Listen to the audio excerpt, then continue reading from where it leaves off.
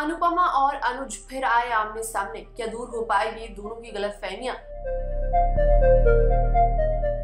जी हाँ क्या होने वाला है अपकमिंग ट्रैक में? हम आपको बताएँगे इस वीडियो के अंदर। वेल करंट ट्रैक में आप देख रहे हैं कि किस तरीके से अनुपमा और अनुज जो है वो एक दूसरे से अलग हो चुके हैं। जहाँ अनुज ने ये मन बना लिया है कि वो अब अनुपमा के साथ नहीं रहना चाहता है।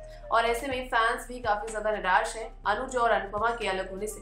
बस सोशल मीडिया पर एक तस्वीर काफ़ी ज़्यादा वायरल हो रही है, जिसमें अनुज और अनुपमा आमने सामने दिख रहे हैं। जहाँ इस तस्वीर को देखकर ऐसा लग रहा है कि शायद अपकमिंग ट्रैक में हमें अनुज और अनुपमा जो है वो दोनों साथ में देखने को मिलने वाले हैं। हालाँकि अभी तक ये साफ़ नहीं हुआ है कि क्या अनुज और अनुपमा जो है, वो वाकई में सारी गलतियाँ बुलाकर फिर एक दूसरे का साथ देते हुए नज़र आएँगे। बस सोशल मीडिया पर ये तस्वीर वायरल हो रही है, जिसके अंदर आप देख सकते हैं कि अनुज जो है, अनुपमा के सामने बैठा हुआ है। बल देखना दिलचस्प होगा कि क्या अपकमिंग ट्रैक में हमें अनुज और अनुपमा साथ में देखने को मिलते हैं। बल आपका क्या कहना है इस पूरी अपडेट को लेकर? हमें कमेंट सेक्शन में ज़रूर बताएँ। और टेलीविज़न से जुड़ी हुई इस तरह की ढेर सारी खबरों के लिए हमारे चैनल को सब्सक्राइब करना ना भूलें।